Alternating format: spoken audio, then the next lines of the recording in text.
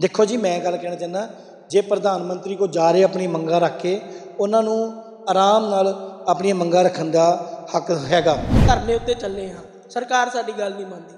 ਸਰਕਾਰ ਕਹਿੰਦੀ ਅਸੀਂ ਤਾਂ ਗੱਲ ਮੰਨ ਰਹੇ ਹੈਗੇ ਆ ਕਈ ਫਸਲਾਂ ਤੇ ਐਮਐਸਪੀ ਦੇ ਰਹੇ ਆ ਪਰ ਹੁਣ ਕਿਸਾਨ ਡਟੇ ਹੋਏ ਨੇ ਕਹਿੰਦੇ ਕਿ 21 ਦੀ 21 ਫਸਲਾਂ ਤੇ ਐਮਐਸਪੀ ਦੇਵਾਂ। ਇਹ ਸਭ ਖੱਟਰ ਦਾ ਕਸੂਰ ਹੈ ਜਿਹੜਾ ਖੱਟਰ ਹੈ ਨਾ ਖੱਟਰ ਬੜਾ ਹਰਾਮੀ ਬੰਦਾ। ਤੇ ਉਹਦੇ ਵਰਗਾ ਹਰਾਮੀ ਬੰਦਾ ਮੈਂ ਦੁਨੀਆ 'ਚ ਨਹੀਂ ਦੇਖਿਆ। ਉਧਰ ਕਿਸਾਨ ਲੜ ਰਹੇ ਉਧਰ ਜਵਾਨ ਲੜ ਰਹੇ ਆ। ਜਿਤਨਾ ਦੋਨਾਂ ਨੇ ਨਹੀਂ ਹੈਗਾ ਕਿਉਂਕਿ ਦੋਨੇ ਭਰਾ ਭਰਾ ਵਾ। ਵੀ ਜਿਹੜੀ ਵੀ ਇਹਨਾਂ ਸ਼ਰਤਾਂ ਮੰਨ ਲੈਣ, ਜੇ ਮੈਂ ਪ੍ਰਧਾਨ ਮੰਤਰੀ ਹੁੰਦਾ, ਮੈਂ 4 ਘੰਟੇ 'ਚ ਇੰਡੀਆ ਅਮੀਰ ਕਰਕੇ ਦਿਖਾ ਦਿੰਦਾ। ਭੋਲਾ ਮੇਰਾ ਪੁੱਤਰ ਹੈ ਤੇ ਮੈਂ ਉਹਦਾ ਡੈਡੀ ਹਾਂ। ਮੰਤਰੀ ਦਾ ਵੀ ਡੈਡੀ ਹਾਂ, ਭੋਲੇ ਦਾ ਵੀ ਡੈਡੀ ਹਾਂ।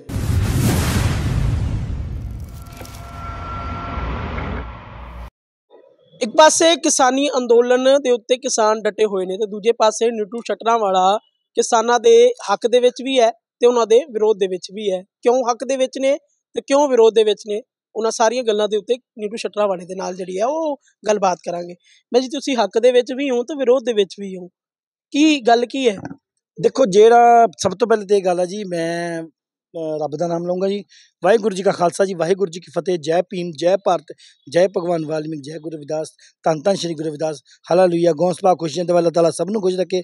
ਤੂੰ ਹੀ ਨਿਰੰਕਾਰ, ਮੈਂ ਤੇਰੀ ਸ਼ਰਨ ਮੈਨੂੰ ਬਖਸ਼ ਲੋ ਜਕਾਰਾ ਮਾਂ ਚਿੰਤਪੁਰਨੀ ਜੀ ਦਾ ਬੋਲ ਸਾਚੇ ਦਰਬਾਰ ਕੀ ਜੈ।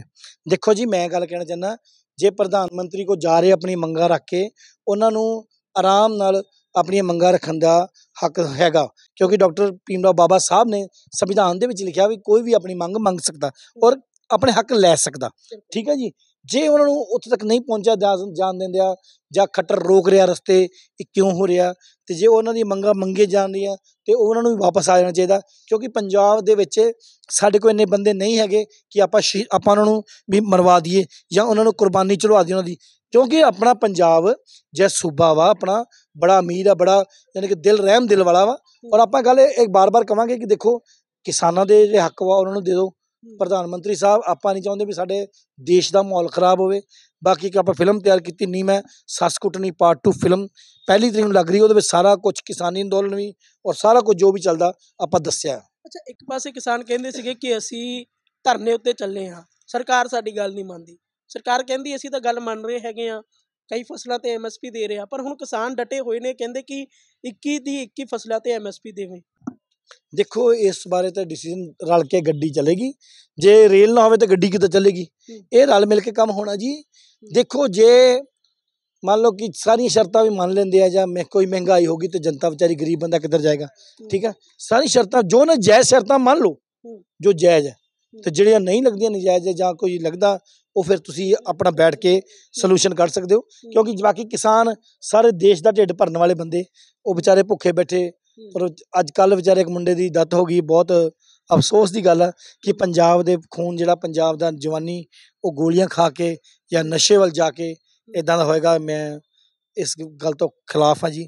ਪੰਜਾਬ ਆਪਣੀ ਜਗ੍ਹਾ ਤੇ ਵਾਪਸ ਆਵੇ ਸ਼ਾਂਤੀਪੂਰਵਕ ਔਰ ਮੈਂ ਕਿਸਾਨਾਂ ਦੇ ਹੱਕ 'ਚ ਹਾਂ ਵੀ ਵੀ ਪ੍ਰਧਾਨ ਮੰਤਰੀ ਅੱਗੇ ਅਪੀਲ ਹੱਥ ਜੋੜ ਕੇ ਅਪੀਲ ਕਰਦੇ ਵੀ ਉਹਨਾਂ ਜਿਹੜੀਆਂ ਮੰਗਾਂ ਜਾਇਜ਼ ਆ ਮੰਨ ਲੈਣ।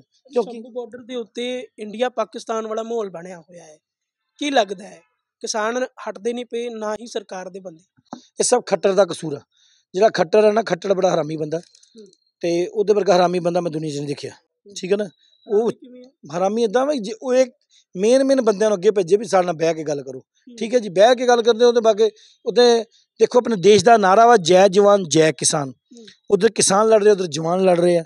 ਜਿਤਨਾ ਦੋਨਾਂ ਨੇ ਨਹੀਂ ਹੈਗਾ ਕਿਉਂਕਿ ਦੋਨੇ ਭਰਾ ਭਰਾ ਵਾ। ਔਰ ਦੋਨੇ ਜਿਹੜੇ ਭਰਾ ਭਰਾ ਵਾ ਮਸਲਿਆਂ ਦੀ ਹੱਲ ਆ ਵੀ ਉਹ ਭਰਾ ਭਰਾ ਲੜਨਗੇ ਤੇ ਸੱਟ ਕਿਨੂੰ ਮਾਂ ਨੂੰ ਇੱਕੋ ਹੀ ਆਪਣਾ ਦੇਸ਼ ਆਪਣਾ ਦੇਸ਼ ਇਹਨੂੰ ਦਰਦ ਹੈ। ਪਰ ਲੇਕਿਨ ਮੈਂ ਅਪੀਲ ਕਰਾਂਗਾ ਹੱਥ ਜੋੜ ਕੇ ਪ੍ਰਧਾਨ ਮੰਤਰੀ ਨੂੰ ਵੀ ਜਿਹੜੀ ਵੀ ਇਹਨਾਂ ਸ਼ਰਤਾਂ ਮੰਨ ਲੈਣ। ਜੇ ਮੈਂ ਪ੍ਰਧਾਨ ਮੰਤਰੀ ਹੁੰਦਾ ਮੈਂ 4 ਘੰਟੇ 'ਚ ਇੰਡੀਆ ਅਮੀਰ ਕਰਕੇ ਦਿਖਾ ਦੇਣਾ ਸੀ। ਕਿਵੇਂ 4 ਘੰਟੇ ਵਿੱਚ ਇੰਡੀਆ ਕਿਵੇਂ ਅਮੀਰ ਹੋ ਜਾਣਾ? ਇਹ ਤੇ ਤੁਹਾਨੂੰ ਮੈਂ ਬਾਅਦ ਦੱਸੂਗਾ ਮੈਂ ਪੂਰੀ ਗੱਲਾਂ ਨਹੀਂ ਦੱਸਦਾ। ਇਹਨਾਂ ਨੇ ਕਹਿਣਾ ਸਾਨੂੰ ਪਤਾ ਲੱਗ ਗਿਆ ਸੀ ਮੋਦੀ ਸਾਹਿਬ ਨੂੰ ਪਤਾ ਲੱਗ ਜਾਣਾ ਵਾ? ਹਾਂ ਸਾਰੀਆਂ ਨੂੰ ਟੀਮਾਂ ਜਿੰਨੀਆਂ ਵੀ ਇਹਨਾਂ ਦੀ ਮੇਰੇ ਖਿਲਾਫ ਚੱਲਦੀਆਂ ਪਈਆਂ ਝੂਠੇ ਪਰਚੇ ਕਟਾਉਂਦੇ ਪਏ ਆ। ਕਦੀ ਕੋਈ ਕੁਛ ਕਹਿ ਰਿਹਾ ਕਦੀ ਕੋਈ ਕੁਛ ਜਿਹੜਾ ਨਹੀਂ ਬੰਦਾ ਮਤਲਬ ਕਿ ਹੁਣ ਕਰਦੇ ਆ ਹੁਣ ਕੂਲਰ ਕੂਲਰ ਪੀਜਨ ਸਾਰੀ ਦੁਨੀਆ ਨੂੰ ਗਾਲ ਕੱਢੀ ਸੀ।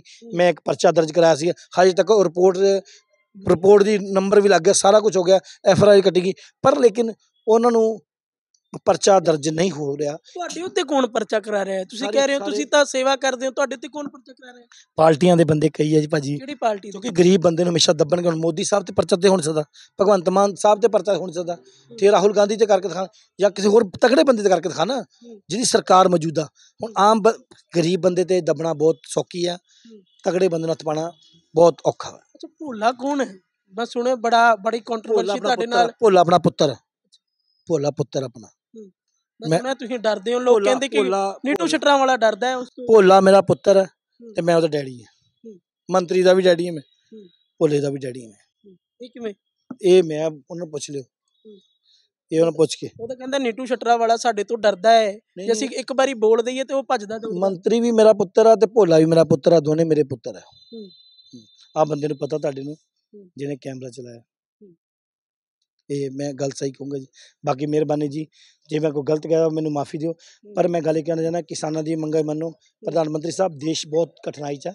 ਸੋ ਦੇਸ਼ ਦੀ ਹਾਲਤ ਸੋਚੋ ਜੀ। ਬੜੀ ਮਿਹਰਬਾਨੀ। ਆਖਰੀ ਕੁਐਸਚਨ ਮੇਰਾ। ਹਾਂਜੀ। ਕਿਸਾਨਾਂ ਨੂੰ ਕੀ ਅਪੀਲ ਕਰਨਾ ਚਾਹੁੰਦੇ ਹੋ ਤੇ ਆਪਣੇ ਘਰ ਨੂੰ ਵਰਤੋ ਵਾਪ- ਵਾਪਸ ਆਓ ਆਪਣੇ ਘਰਾਂ ਨੂੰ। ਜਾਨ ਦੁਬਾਰਾ ਨਹੀਂ ਮਿਲਦੀ। ਸੋ ਕਿਸਾਨਾਂ ਜੇ ਕਿਸਾਨੀ ਅੰਦੋਲਨ ਚਲੋ ਚੱਲਦਾ ਹੀ ਹੈ। ਪਰ ਪ੍ਰਧਾਨ ਮੰਤਰੀ ਸਾਹਿਬ ਉਹਨਾਂ ਦੀਆਂ ਮੰਗਾਂ ਮੰਨ ਲਓ। ਜਾਇਜ਼ ਮੰਗਾਂ ਮੰਨ ਲਓ। ਮੰਨ ਲਓ ਹੱਥ ਜੋੜ ਕੇ ਬੇਨਤੀ ਚਲੋ। ਠੀਕ ਹੈ ਜੀ। ਬਿਲਕੁਲ ਨੀਟੂ ਸ਼ਟਰਾ ਵਾਲੇ ਨੇ ਜਿਨ੍ਹਾਂ ਵੱਲੋਂ ਕਿਸਾਨਾਂ ਦੇ ਹੱਕਾਂ ਦੇ ਵਿੱਚ ਜਿਹੜਾ ਹੈਗਾ ਹੈ, ਉਹ ਨਿਤਰਿਆ ਗਿਆ ਹੈ। ਇਹਨਾਂ ਵੱਲੋਂ ਕਿਹਾ ਜਾ ਰਿਹਾ ਹੈ ਕਿ ਸਰਕਾਰਾਂ ਨੂੰ ਕਿਸਾਨਾਂ ਦੀਆਂ ਗੱਲਾਂ ਮੰਨ ਲੈਣੀਆਂ ਚਾਹੀਦੀਆਂ ਨੇ ਤੇ ਜੋ ਕਿਸਾਨ ਧਰਨੇ ਦੇ ਉੱਤੇ ਬੈਠੇ ਨੇ, ਸ਼ੰਭੂ ਬਾਰਡਰ ਤੇ ਬੈਠੇ ਨੇ, ਉਹ ਵਾਪਸ ਆ ਜਾਣ। ਕੈਮਰਾ ਪਰਸਨ ਪੰਕਜ ਦੇ ਨਾਲ Raju Gupta, red box TV, Jalandhar.